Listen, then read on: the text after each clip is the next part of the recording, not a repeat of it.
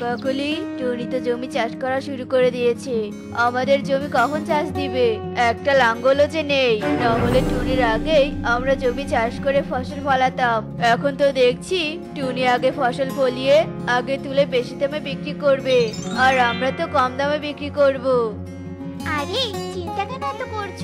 টুনির সাথে আমরা ফসল ফলাবো। চলো, টুনির থেকে লাঙ্গলটা নিয়ে আসব।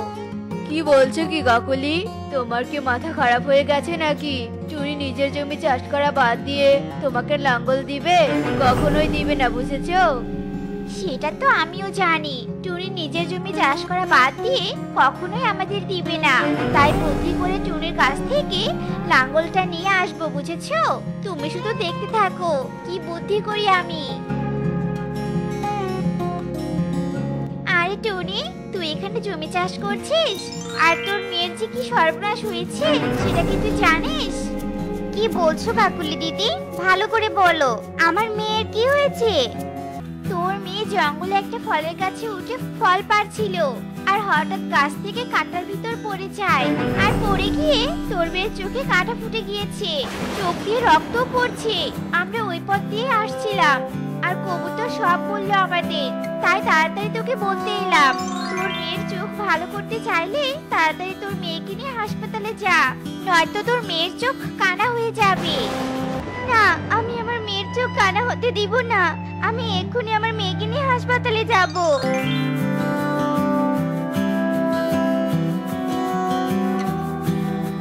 কাকুলি, তোমার মাথায় তো দেখছি অনেক বুদ্ধি। চলো তাড়াতাড়ি আমরা জমিটা চাষ করে নেই। এরপর কালু আর কাকুলি টুনির লাঙ্গলটা নিয়ে তাদের জমি চাষ করতে শুরু করে দেয়। অন্যদিকে টুনি পুরো বনে টুকিকে খুঁজতে থাকে কিন্তু কোথাও খুঁজে পায় না। কোথায় গেল আমার মেয়েটা? আমি তো পুরো বন খুঁজলাম কিন্তু কোথাও তো পেলাম না। আরে টুনি তুমি জঙ্গলে কি করছ সেই তখন থেকে দেখছি এদিক ওদিক ঘুরছো। এসব কি বলছো তুমি? তোমার মেয়ে তো আমার বাড়িতে। আমার মেয়ে পারুলের সাথে খেলছে। আমি এক্ষুনি ওদের বাড়িতে রেখে এলাম। বিশ্বাস না হলে চলো আমার সাথে।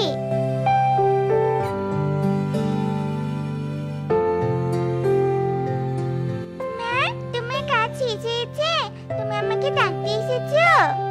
না রে মা, তোকে ডাকতে আসিনি। শয়তান কালু আর কাকুলি আমাকে বলেছে, তোর নাকি চোখে কাঁটা বেঁধেছে। তাই কাজ ফেলে তোকে খুঁজতে এসেছি। তুই খেলা শেষ করে বাড়িতে আয় কেমন? আমি জমিতে যাই, আর কালু কাকুলিকে বলব, কেন এসব মিথ্যে বলল আমাকে?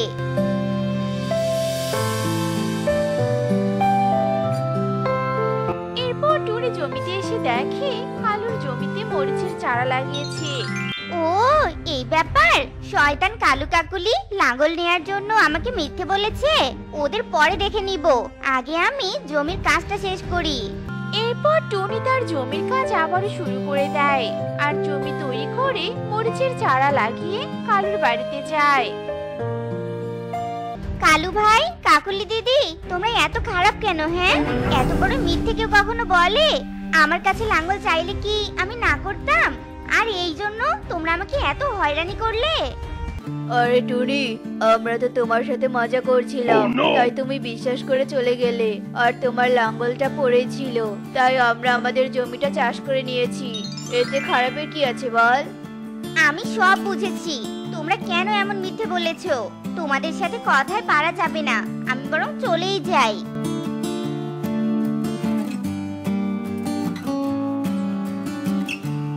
কাকলি চলো, আজ মরিচের জমি দেখতে যাই। দেখি তো গিয়ে মরিচ ধরেছে কি না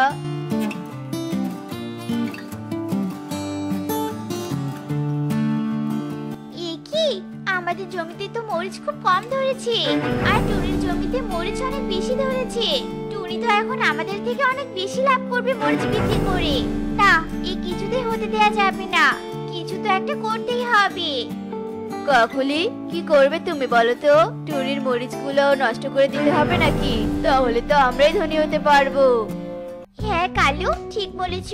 আমার মাথায় তো মরিচ নষ্ট করার বুদ্ধি চলে এসেছে। চলো আমরা কাজে লেগে পড়ি। এরপর কালু কাকলি জঙ্গলে চলে যায়। আর দুজনে জঙ্গলের ঘাস থেকে বিছা পোকা ধরতে থাকে।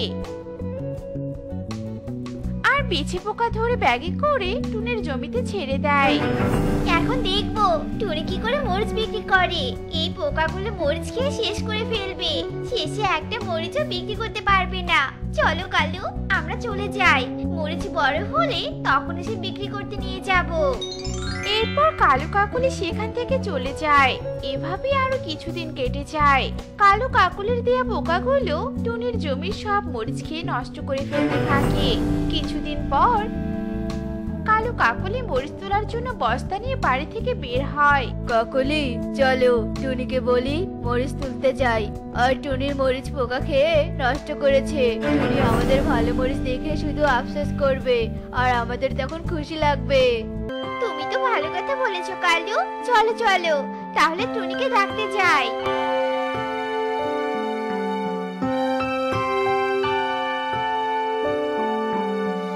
টুনি তুলতে যাবি না?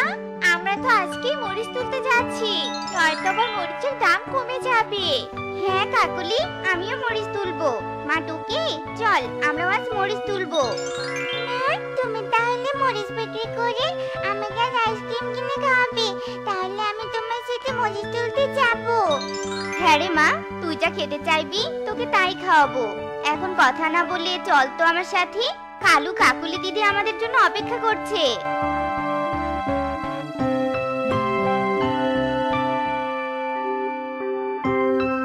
কাকলি একই সর্বনাশ হয়েছে আমাদের?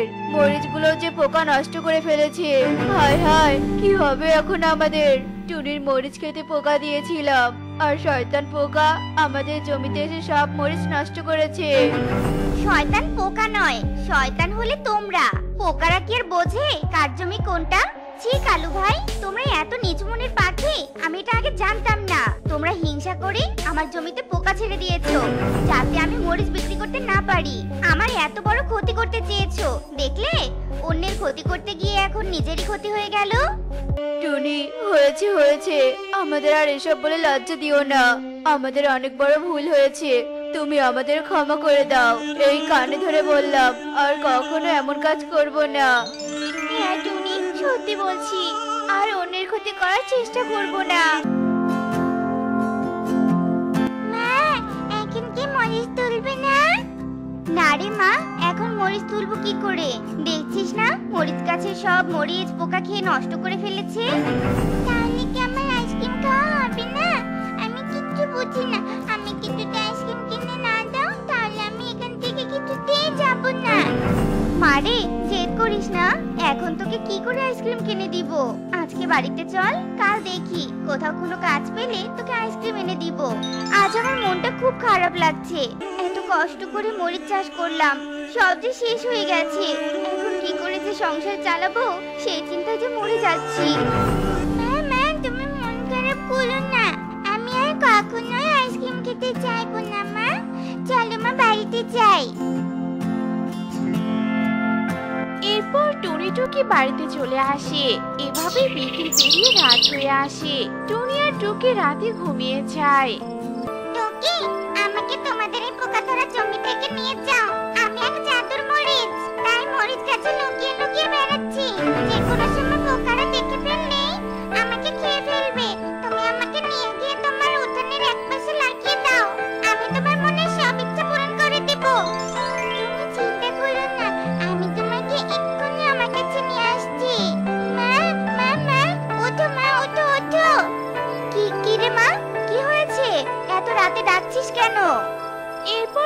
টুনিকে তার স্বপ্নের কথা খুলে বলে আর মামি মরিচের জমিতে চলে যায়।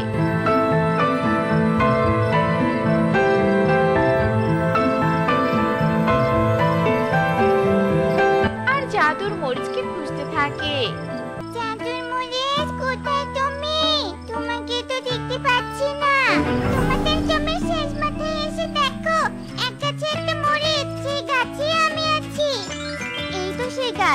তুমি জাদুর মরিচ? হ্যাঁ আমি হলাম জাদুর মরিচ। কাল কালুদের সামনে তোমাদের বলতে পারিনি কিছু। কারণ কালুরা খুব খারাপ। এক জাদুকর কালকে আমাকে তোমাদের জমির মধ্যে লুকিয়ে রেখে গেছে। কয়েকদিন পরে সে নিয়ে যাবে। আর আমাকে খেয়ে সে আরও জাদু শক্তি অর্জন করবে। তাই আমাকে তোমরা বাঁচাও। তুমি কোনো চিন্তা করো না। আমি তোমাকে এরপর টুনি মরিচ গাছটি নিয়ে বাড়িতে চলে আসে আর তার উঠোনে লাগিয়ে দেয়। এভাবে সে রাত কেটে যায়। পরের দিন সকালে টুকি বাইরে এসে অবাক হয়ে যায়। মা মা, এদিকে এসো। দেখে যাও জাদু মরিচ গাছে কত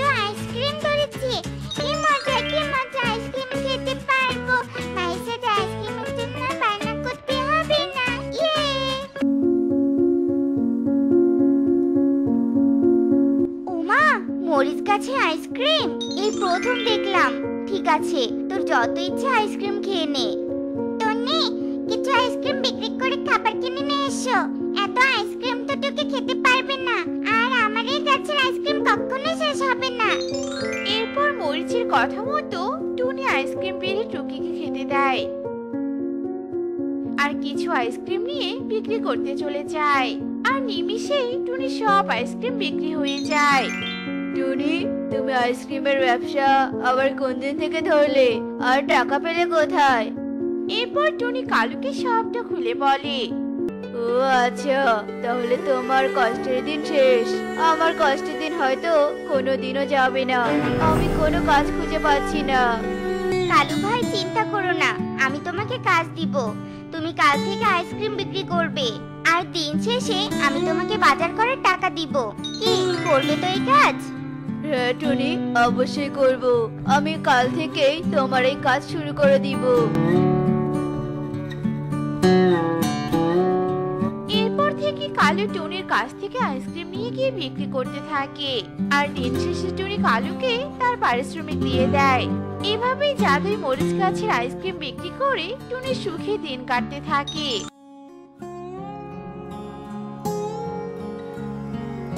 টুনি বন্ধু আমার আমি হয়তো বেশি দিন বাঁচবো না। তোকে আমি কখনো শুধু আমার বন্ধু ভাবিনি রে। আমি সব সময় নিজের বোন ভাবতাম তোকে। তাই আমি যদি মারা যাই, তুই আমার ছোট মেয়ে টুকিকে দেখে রাখিস বন্ধু। ওকে নিজের মেয়ের মতো ভালোবাসিস। ওকে কখনোই মায়ের অভাব বুঝতে দিস না রে। আর আমার টোনা, আমার হারিয়ে যাওয়ার বেদনা সইতে পারবে না। খুব একা হয়ে যাবে। তখন তুই আমার টোনাকে বিয়ে করে ওর সঙ্গ দিস, বোন। তুই এসব কি উল্টোপাল্টা কথা বলছিস বলতো? তোর কিচ্ছু হবে না। তুই আরও অনেক বছর বেঁচে থাকবি। তোর স্বামী, সন্তান, সংসার সবই তোর থাকবে। তুই এসব উল্টোপাল্টা চিন্তা মাথা থেকে ঝেড়ে ফেলতো না রে, আমাকে তুই আর মিথ্যে সান্ত্বনা দিস না। আমি জানি, আমি আর বাঁচবো না। তাই তুই আমার অনুরোধটুকু মেনে নে। তুই যদি আমার এই অনুরোধটুকু মেনে নিস, তাহলে আমি যে শান্তিতে মরতে পারব রে বন্ধু। শোন, সৃষ্টিকর্তা যদি তোকে নিয়ে যায়, তাহলে আমি তোর স্বামীকে বিয়ে করে টুকিকে দেখে রাখব। তুই আর কোনো চিন্তা করিস না। এখন তুই থাক, টোনা দাদা হয়তো এখন বাড়ি ফিরে আসবে। ওইদিকে আমারও কিছু কাজ পড়ে আছে। ঠিক আছে, চলে যা। এরপর টুনি তার বাড়ি ফিরে যায়। এরপর দেখতে দেখতে দুদিন কেটে যায়। আর এই দুদিনের মধ্যেই রেনুও মারা যায়। রেনু রেনু কথা বলো রেনু তুমি এভাবে আমাদের একা করে কোথাও যেতে পারো না। রেনু মা ও মা কথা বলো মা। মা তোমার কি হয়েছে? ও মা ওঠো মা ওঠো। মা টুকি তোর মা এখন থেকে ওই আকাশে তারা হয়ে গেছে রে। আর কোনো দিনও কথা বলবে না তোর মা। এরপর সবাই মিলে রেনুর লাশটা নিয়ে শ্মশানে চলে যায়। আর রেনুর সৎকার করায়। এদিকে টোনা টুনি আর টুকি কান্নায় বুক ভাসাতে থাকে। এভাবে দেখতে দেখতে দুদিন কেটে যায়। টোনা দাদা রেনু মারা যাওয়ার আগে আমাকে একটা অনুরোধ করে গেছে। তুমি কি সেই বিষয়ে কিছু জানো? কই? রেনু বেঁচে থাকাকালীন তো আমাকে কিছু বলে যায়নি। আসলে রেনু বলেছিল ও মারা গেলে যাতে আমি তোমাকে বিয়ে করে তোমার আর টুকে দেখাশোনা করি। টুনির এমন কথা শুনে টোনা মনে মনে ভাবে রেনু তো আমাকে ছেড়ে চলেই গিয়েছে এখন তো আমাকে বেঁচে থাকতে হবে। তার উপর আমার মেয়েটা অনেক ছোট ওর মায়ের প্রয়োজন। যেহেতু রেনু বলে গিয়েছে সেহেতু টুনিকে বিয়ে করে নেওয়াটাই আমার জন্য উত্তম কাজ হবে। ঠিক আছে টুনি আমি তোমাকে বিয়ে করতে রাজি আছি। এরপর তারা দুজনে বিয়ে করে নেয়। বিয়ের পর কয়েকদিন তারা তিনজনে রেলুর শোক ভুলে গিয়ে সুখেই দিন কাটাচ্ছিল। কি রে টুকি? তুই আর তোর বাবা যে দুধ কলা দিয়ে সাপকে পুষছিস তা কি তোরা জানিস? মানে কি বলতে চাচ্ছ কাকুলি মাসি তুমি? আমি যে কিছুই বুঝতে পারছি না। ভালোভাবে একটু বুঝিয়ে বলো তো। শোন, তোর যে ছোট মা আছে না, ও তো তোদের সম্পত্তি লোভে তোর বাবাকে বিয়ে করেছে। সুযোগ বুঝে তোদের দুই বাবা মেয়েকে মেরে সব সম্পত্তি নিজের নামে লিখে নিয়ে পালিয়ে যাবে রে, পালিয়ে যাবে। তুই জানিস? তুমি মিথ্যে কথা বলছো। আমি এসব একদম বিশ্বাস করি না। বিশ্বাস করি না আমি এসব। তুই ভেবে দেখ, টুনি তোর মায়ের বান্ধবী। আর বান্ধবী মারা যাওয়ার দুদিন পার হতে না হতেই তার স্বামীকে কেউ কি এমনিতেই বিয়ে করে নাকি হ্যাঁ? এমন সম্পত্তির লোক থাকলেই তো বিয়ে করে। হুম। কাকলির এমন কথাতেই টুকির ভেতরে সন্দেহ আর রাগ ঢুকে যায়। কাকুলি মাসি তোমার কথা সত্যি হলে আমি ওই ছোট মাকে এই বাড়ি থেকে আজকেই বের করে দিব। না না ওভাবে বের করা যাবে না।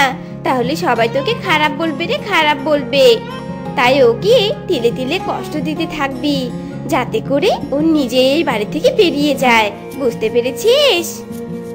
আচ্ছা ঠিক আছে কাকুলি মাসি।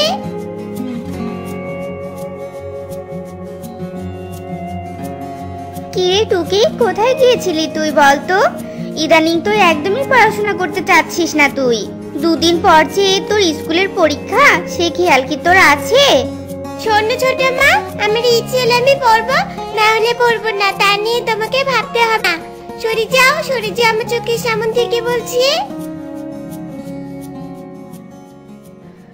মেয়েটার হঠাৎ কি হলো? এমন করে চলে গেল কেন?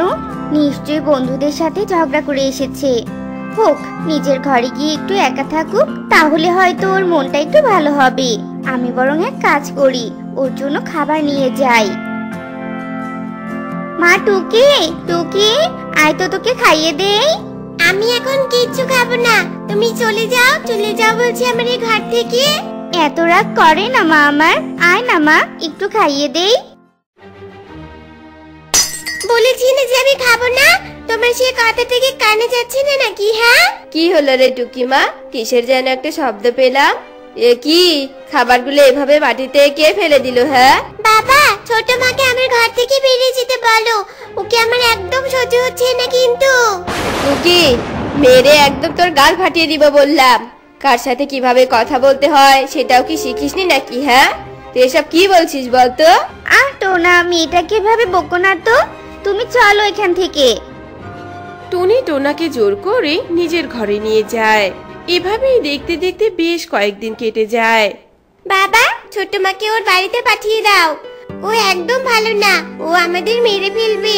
আর আমাদের সব সম্পত্তি নিয়ে ওখান থেকে পালিয়ে যাবে জানো? টুকি দিন দিন তোর বেয়াদবি গুলো বেড়েই চলেছে তো বেড়েই চলেছে দেখছি। আজকের মতো তোকে আমি মাফ করে দিলাম। টুকি এরপরেও যদি তোর মুখে এমন কথা শুনেছি তাহলে তোকে বাড়ি থেকে বের করে দিয়ে আশ্রমে রেখে আসব। আর ওখানে তোকে পড়াশোনা করাবো বুঝতে পেরেছিস? থাকবোই না থাকবোই না আমি আর এই বাড়িতে। তুমি ওই মহিলাকে নিয়ে থাকো এই বাড়িতে। এসব কথা বলে টুকি ডাক করে বাড়ি থেকে বেরিয়ে যায় আর কাকুলির কাছে যায়। কাকুলি মাসি তুমি একদম ঠিক কথাই বলেছিলে। আমার বাবা এখন আর আমাকে একদম ভালোবাসে না। ওই মহিলা আমার বাবাকেও বশ করে নিয়েছে। আমি সবটা বুঝতে পেরেছি এখন জানো? টুকির কথা শুনে কাকুলি মনে মনে ভাবে কোনোভাবে যদি আমি একে বসে আনতে পারি আর একে দিয়ে টুনিকে মেরে ফেলার ব্যবস্থা করি তাহলে আমি টোনার বউ হতে পারব। আর তখন টোনার সব সম্পত্তির মালিক হব আমি। শোন টুকিমা আমি তোকে একটা বুদ্ধি দিচ্ছি। তুই তোর ছোট মাকে মেরে ফেল। তাহলেই তো তোর সব ঝামেলা চুকে যাবে, তাই না? মারবো? কিন্তু কি করে মারবো আমি ছোট মাকে? এই যে এই যে নিয়ে, এই শক্তিশালী বিষটা নে। এটা যদি কোনোভাবে তোর ছোট মাকে খাওয়াতে পারিস, তাহলে তোর ছোট মা সাথে সাথেই মারা যাবে। টুকি কাকুলির কাছ থেকে বিষ নিয়ে বাড়ি ফিরে যায়। আর রান্নাঘরে বিষটা লুকিয়ে রাখে। ছোট মা আমি তোমার জন্য এক কাপ চা বানিয়ে নিয়ে আসি কেমন? তুমি কি খাবে আমার হাতের বানানো চা ছোট মা? মারে তুই আমার জন্য চা বানাবি আর আমি খাব না তা কি কখনো হয়? ঠিক আছে মা তুমি বসো আমি তোমার জন্য এক্ষুনি চা বানিয়ে নিয়ে আসছি কেমন? এরপর টুকি রান্নাঘরে যায় আর বিষের বোতলটা টুকি যেই না খুঁতে যাবে ঠিক তখনই কয়েক ফোঁটা বিষ এসে টুকির চোখে ঢুকে যায়। ও মা গো বাবা গো আমাকে কেউ বাঁচাও আমার চোখ চলে যাচ্ছে। আ ছোট মা ছোট মা এখানে এসো। টুকির এমন চিৎকার শুনে টুনি রান্নাঘরে দৌড়ে আসে। আর টুকির এমন অবস্থা দেখে তাড়াতাড়ি টুকিকে হাসপাতালে নিয়ে যায়। ডাক্তার বাবু আপনি আমার চোখ দুটো আমার মেয়েকে দিন। তবু আমার মেয়েটাকে ভালো করে দিন। এরপর অপারেশন করে টুনির চোখ টুকিকে দেওয়া হয়। টুকি আবারও চোখে দেখতে পায়। বাবা আমি সব দেখতে পাচ্ছি বাবা। আমার এখন কোনো অসুবিধা হচ্ছে না। আচ্ছা বাবা আমাকে কে চোখ দিয়েছে? শুনলাম আমার চোখ নাকি অন্ধ হয়ে গেছে নষ্ট হয়ে গেছে। তাহলে কে দিয়েছে আমাকে চোখ বাবা? মারে তোর ছোট মা নিজে অন্ধ হয়ে তোকে চোখ দিয়েছে। তুই তো কোনো দিনও তোর ছোট মাকে একটু বুঝতে চেষ্টা করিসনি। মারে তোর ছোট মা অনেক ভালো। ছোট মা আমার জন্য এত কিছু করেছে। ছোট মা, তুমি আমাকে ক্ষমা করে দাও। আমি আসলে ভুল করেছিলাম। আমি আসলে অন্যের কথা শুনে তোমাকে ভুল বুঝেছিলাম, ছোট মা। আমি আর কখনোই তোমার সাথে খারাপ আচরণ করব না। তোমার সাথে এত কিছু করেছি। তবুও তুমি আমার জন্য নিজের চোখ দুটোকে আন্ত বানিয়ে নিলে। মায়ের কাছে সন্তানের কোনো ভুল থাকে না রে মা। আমি তো এখন আর চোখে দেখতে পারব না। তাই তুই আমার চোখের মনি হোস। হ্যাঁ ছোট মা আমি তাই হব। এরপর থেকে টুকি তার ছোট মায়ের সাথে অনেক ভালো আচরণ করতে থাকে। আর ওরা তিনজন মিলে সুখে দিন কাটাতে থাকে। তো বন্ধুরা তৃতীয় পক্ষের কথা আমাদের কখনোই শোনা উচিত নয়। তাহলে সুখের সংসার নিমিষেই শেষ হয়ে যায়।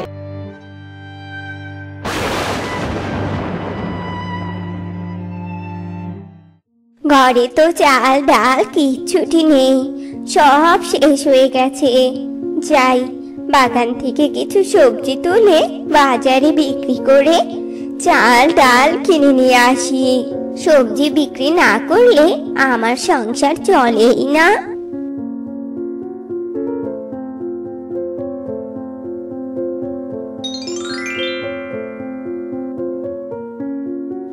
আরে আরে বুড়িমা যে, এত সকাল সকাল কোথায় যাচ্ছ? কই আর যাব বাবা? এই তো বাজারে সবজি বিক্রি করতে যাচ্ছি। জানিসই তো বাবা, আমার আপন বলতে কেউ নেই। আমাকে এই একা হাতে সব সামলাতে হয়। আরে বুড়িমা, তোমার দেখছি অনেক কষ্ট। তা বলছি বুড়িমা, তোমাকে আর শেষ বয়সে এত কষ্ট করতে হবে না। আমি না হয় কাল থেকে তোমার বাড়ি থেকে সবজি নিয়ে বাজারে বিক্রি করে আসব। আর বিকেলে এসে তোমার সবজি বিক্রির টাকা দিয়ে যাব। তোমাকে দেখে আমার ভীষণ কষ্ট হচ্ছে। সত্যি বলছিস বাবা, তাহলে তো বেশ ভালোই হয়। সত্যি, আজকালকার দিনে তোর মতো ছেলে পাওয়া বড় ভাগ্যের ব্যাপার রে। আমি তো তোমার ছেলের মতোই বুড়িমা, আর আমার মা শিখিয়েছে। কারও কষ্ট দেখলে তাকে সাহায্য করা উচিত। ঠিক আছে বুড়িমা, তাহলে আজ আমি আসি। কাল সকাল সকাল তোমার বাড়িতে আসব, কেমন? সবজি তুলে রেডি করে রেখো।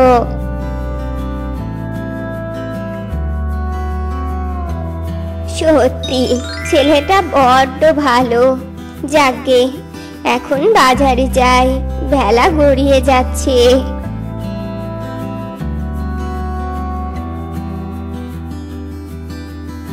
কিছুক্ষণ পর বুড়ি বাজারে সবজি বিক্রি করে নিজের জন্য চাল, ডাল আর প্রয়োজনীয় জিনিসপত্র নিয়ে বাড়ির দিকে আসতে থাকে। হঠাৎই বুড়ি রাস্তায় থমকে দাঁড়ায়। সর্বনাশ, এ আমি কি দেখছি? রাস্তার ধারে পাঁচটা সোনার টমেটো গাছ আর পাঁচটা সোনার গাছে পাঁচ রঙের পাঁচটা টমেটো ধরে আছে। এটা কি করে সম্ভব? সোনার টমেটো গাছে পাঁচ রঙের টমেটো? তবে টমেটোগুলো দেখতে বেশ লোভনীয়। দেখি তো একটা টমেটো ছিঁড়ে। এমন সময় ওখানে একটা সাপ প্রকট হয়। না না বুড়িমা, তুমি আমার ছানাদের ছিড়ো না। ওরা যে কষ্ট পাবে, ছিড়ো না ওদের। হায় হায়, এ কি কাণ্ড? এই সাপ তুই এটা কি বলছিস? টমেটো আবার তোর ছানা কি করে হয় রে? হ্যাঁ বুড়িমা, আমি সত্যি কথাই বলছি। এই যে, সোনা টমেটো গাছে যে পাঁচটা পাঁচ রঙের টমেটো দেখতে পাচ্ছ, এই পাঁচ রঙের টমেটো গুলোই আমার পাঁচ ছানা। আর আমি কোনো সাপ নই, আমি হলাম টুনি পাখি। একজনের অভিশাপে আমার আর আমার পাঁচ ছানার এই অবস্থা হয়েছে। অভিশাপ? কি অভিশাপ? আমাকে একটু সব খোলসা করে বল দেখিনি। আমি অত কিছু বুঝতে পারছি না, বাপু। ঠিক আছে, বুড়িমা, তাহলে শোনো সবটা। একদিন আমি আর আমার বাচ্চা না এই বনে ঘুরতে এসেছিলাম। তারপর মা উমা এই বনটা তো আমাদের বনের থেকেও ভারী সুন্দর দেখতে। মা, এই বনে এসে আমাদের ভীষণ ভালো লাগছে, মা। হ্যাঁ ঠিক বলছিস, মা। এই বনটা খুবই সুন্দর। একদম ঠিক তোদের পাঁচ বোনের মতো। তোরা যেমন সুন্দর, তেমনি বনটাও সুন্দর রে। তাই বুঝছি মা মা, চলো চলো। ওই দেখতে যাই। ও দেখো কি সুন্দর সবুজ গাছ। আহা, দেখতে কি সুন্দর লাগছে।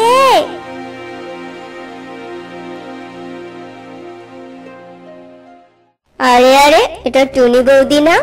ওই পশ্চিমের বনের টোনা দাদার স্ত্রী। আরে হ্যাঁ তো, কিছুদিন আগেই তো টোনা দাদা মারা গেছে। কিন্তু এই টুনি বৌদিকে আমার ভীষণ ভালো লাগে। যাই, গিয়ে কথা বলি। দেখি, আমার কথাই পটে যায় কিনা।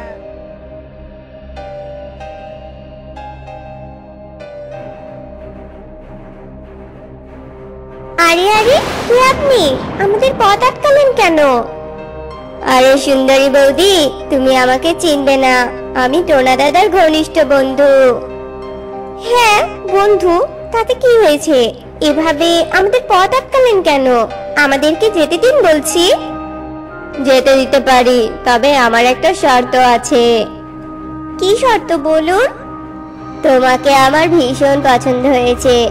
আমি তোমাকে বিয়ে করতে চাই।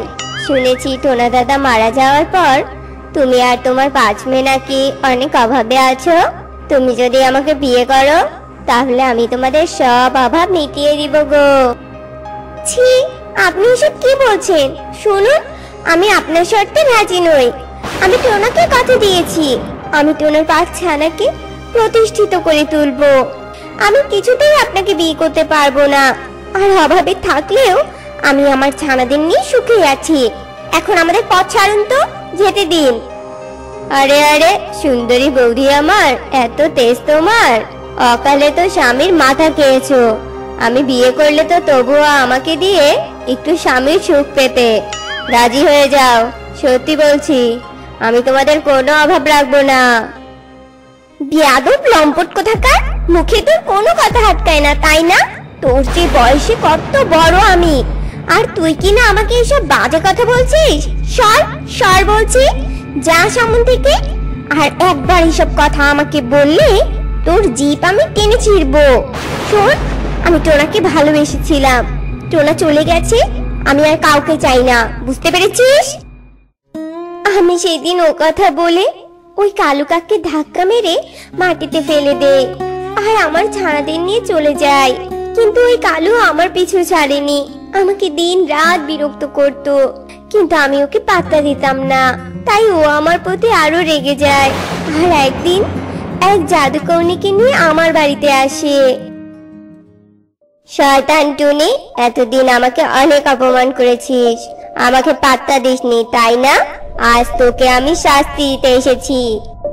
কি জাদু করনি? যা করতে বলেছি, তা চটপট করে ফেলো তো। টুনি, এবার আমার কথা না শোনার ফল কেমন হয়, তা ভোগ কর। আমি যা চাই, তা যদি না পাই, তাহলে আমার মাথা ঠিক থাকে না। এরপর সেদিন জাদুকর্ণী আমাকে অভিশাপ দিয়ে সাপ বানিয়ে দেয়। আর আমার বাচ্চানাকে সোনার টমেটো গাছের পাঁচ রঙের টমেটো বানিয়ে ঝুলিয়ে রাখে। আর আমাদের সবাইকে এখানে রাস্তার পাশে রেখে চলে যায়। সবই তো বললাম বুড়িমা, আমার কষ্টের কথা। ছি ছি ছি, ওই বজ্জাত বেটা কালু এত খারাপ। আর আমি কিনা ওকে এত ভালো ভেবেছিলাম? আসলে এই যুগে কাউকে বিশ্বাস করতে নেই। ভালো ব্যবহারের আড়ালে এত খারাপ ছিল? আমি ভাবতেও পারছি না। তবে চিন্তা করিস না, মা। আমি তোকে আর তোর পা চানাকে এখান থেকে মুক্ত করে নিয়ে যাব। এই বলে বুড়ি বাড়িতে চলে আসে। আর পরের দিন সকালবেলা বুড়িমা, ও বুড়িমা, আমি আমি এসেছি গো। সবজি দাও। আরে আরে বুড়িমা, তোমার হাতে বটি কেন? আর তুমি এভাবে রেগে আমার দিকে তেড়ে আসছো কেন বুড়িমা? তোর মাথা থেকে মুন্ডুটা আলাদা করে দিতে এসেছি, শয়তান বেটা বজ্জাত কালু। তুই টুনির আর ওর বাচ্চানাকে এত কষ্ট কেন দিয়েছিস? বল বল শয়তান, আজ তোকে আমি মেরেই ফেলব। একি একি, বুবু বুড়িমা, তুমি সব কি করে জানলে? আমি সব জেনে গেছি। খারাপ বদমাইশ কোথাকার? তুই খুব দয়ালু, তাই না? তুই যদি এতই দয়ালু হোস, অন্যদের সাহায্য করিস, তাহলে কেন এই বেচারি বিধবা টুনির সাথে এমন অবিচার করলি হ্যাঁ? তুই কি জানিস না? কারও উপর জোর খাটিয়ে কোনো জিনিস পাওয়া সম্ভব নয়? তোর জন্য অযথা মেয়েটা তার ছানাদের নিয়ে অভিশাপে শাস্তি পাচ্ছে। আসলে বুড়িমা, সেদিন তুমি আমার কথায় রাজি না হয়, আমি রেগে এমনটা করেছি। আমার ভুল হয়ে গেছে বুড়িমা। ভুল যখন করেছিস প্রাশ্চিত্য তুই করবি। যা, ওই জাদুকর্ণীকে এনে টুনি আর ছানাদের অভিশাপ থেকে মুক্ত কর। না হলে তোর মুন্ডু কেটে আমি কুকুরকে খাওয়াবো বলে দিলাম। না না বুড়িমা, এমনটা বলো না, আমি এক্ষুনি ওই জাদুকর্ণীকে ডেকে আনছি। কালু কাক বুড়ির কথায় ভয় পেয়ে যায়। আর কালু তাড়াতাড়ি ওই জাদুকর্ণীকে ডেকে ওই সোনার টমেটো গাছের কাছে আসে। জাদুকর্ণী তুমি এদেরকে মুক্ত করে দাও। জাদুকর্ণী কালুর কথা শুনে মন্ত্র পড়া শুরু করে। আর মন্ত্রপুত জল সাপরূপী টুনি আর টমেটো গাছের পাঁচ রঙের টমেটো তো ছিটিয়ে দেয়। আর সাথে সাথে ওরা মুক্তি পেয়ে যায়। টুনি বৌদি, আমাকে ক্ষমা করে দিও। আমি আমার ভুল বুঝতে পেরেছি। আসলে অন্যায়ভাবে কারও উপর জোর খাটানো উচিত নয়। আমাকে ক্ষমা করে দিও। আমার রাগের জন্য এতদিন তোমাকে আর তোমার বাচ্চানাকে কষ্ট পেতে হলো। ঠিক আছে, দাদা, কোনো ব্যাপার না। আপনি যে আপনার ভুল বুঝতে পেরেছেন, এতেই আমি খুশি। পাচ্ছা না এবার চল, আমরা বাড়ি ফিরে যাই। তো বন্ধুরা আমাদের আজকের গল্পটি তোমাদের কাছে কেমন লেগেছে তা কমেন্টে জানাতে ভুলো না কিন্তু।